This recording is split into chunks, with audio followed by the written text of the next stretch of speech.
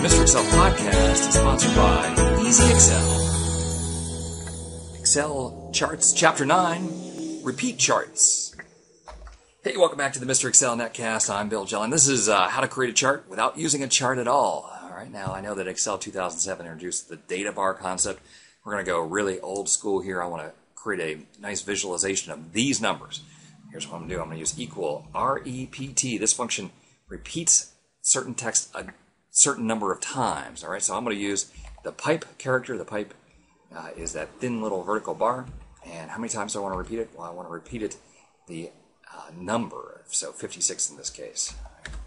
Copy that down. And what we get is a nice little bar chart that is appearing uh, right there in those cells. So now we have a, uh, a cool bar chart. Now this works out because my numbers are you know small. If, if I had larger numbers here, let's change these to be uh, just we'll do equal rand between uh, perhaps 200 and 1,000.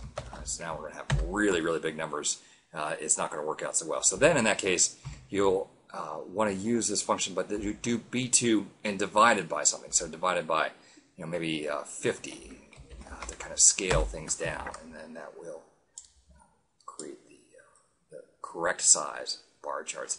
You can also play with different things. I've seen Mike Alexander uh, you know, find a, a, nice font in Webdings or Wingdings that uh, kind of provides, uh, you know, a thicker bar.